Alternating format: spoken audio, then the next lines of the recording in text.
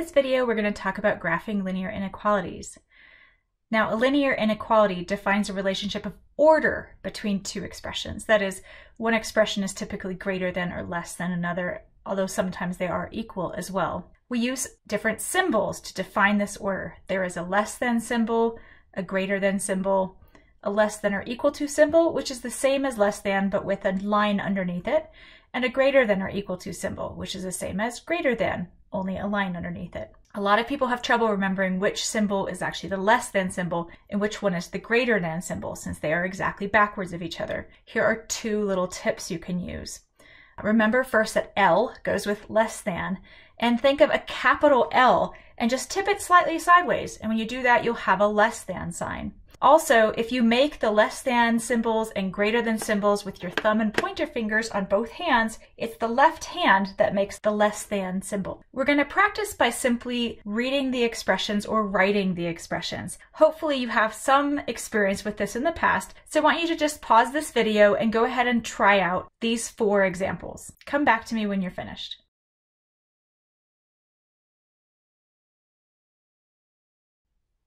All right, hopefully you've given these a try. The first expression we have is x is greater than negative 1, and we would write it x is greater than negative 1. The second one reads t is greater than or equal to 4.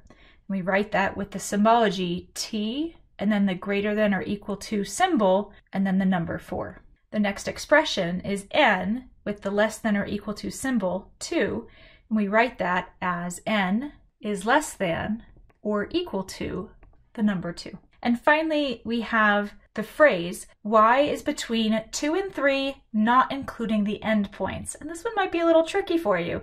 But the way to start it is to think about the expression being sandwiched between the numbers 2 and 3. We want y to be between those. We're going to write 2 is less than y is less than 3. In other words, we're sandwiching y between 2 and 3. Notice that I don't have equals on the less than signs, just plain less than signs. This last expression was a great example of what happens when the variable is between two inequality symbols. We can essentially read it two ways. So if we look at the expression 3, a less than symbol x, a less than or equal symbol 9, we can read that as either 3 is less than x, which is less than or equal to 9, or we can read it as x is between 3 and 9, including the 9. When we say we include the endpoints, we're saying that it can be equal to the endpoints. Often these linear inequalities make more sense when you see them on number lines. Now there are two ways we can draw an inequality on a number line. At the top of the page, I gave you a legend for these two methods.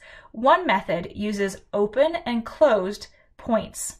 We use an open point, an open circle, when we use a less than symbol or a greater than symbol. We used a closed circle when we have a less than or equal to or a greater than or equal to symbol. The other method of drawing an inequality uses either a parenthesis or a bracket. We use a parenthesis when we have a less than or a greater than, and we use a bracket when we have a less than equal to or greater than or equal to.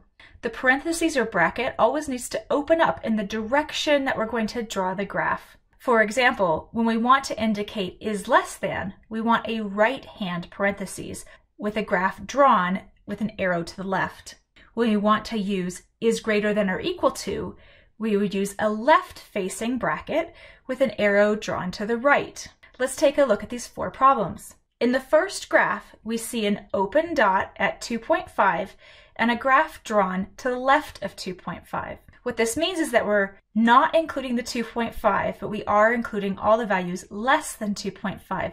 And the way we would indicate that is with x is less than 2.5 as an expression. And if we wanted to draw the same thing, but with the parentheses or bracket notation, we would put a right facing parentheses at 2.5 and draw our arrow moving to the left on the number line. For the second problem, we're given the expression x is greater than or equal to negative 0.5. The equal to indicates it'll be a closed point or a bracket. Let's first draw the inequality with the closed point. I'll start with a point at negative 0.5 that's halfway between negative 1 and 0. And I want all the values that are greater than that. So I'm going to draw an arrow to the right of that point. Now let's draw the graph that uses the bracket. Since I want the values that are greater than negative 0.5, I'm going to use a left bracket, in other words, one that opens to the right. I'm going to place that at negative 0.5 and then draw an arrow moving to the right. The next graph I have is using open and closed dots. There's an open dot at negative 1 and a closed dot at 3, and we're shading everything between them. So what I have is a between inequality. I have all the points that are between negative 1 and 3, so I'm going to write x in the middle. Negative 1 is less than x is less than or equal to 3. That means we include the 3, the closed dot, and we don't include the negative 1. To draw this with parentheses and brackets, let's start with the negative 1. Since negative 1 is less than x, but not including x, we're going to use a parentheses for that. That's a left parentheses opening to the right. At 3, we have less than or equal to 3, so that's going to be a right bracket opening to the left. And then we'll shade everything between those two values. Our final expression is negative 3 is less than x is less than or equal to 4. Again, we have a between inequality. For that open and closed dot type graph, we're going to plot an open dot at negative 3 and a closed dot at 4 and include everything between those two values. For our parentheses and bracket graph, we're going to draw a left parentheses at negative 3, so it's opening to the right. We're going to draw a right bracket at 4, so it's opening to the left, and then we'll draw a line to connect the two on the number line. Let's just recap. A linear inequality has four different kinds of symbols. We can graph them with either open and closed points or parentheses and brackets. Just remember when you're using the parentheses and brackets that you want the bracket or parentheses to open in the direction you're going to draw.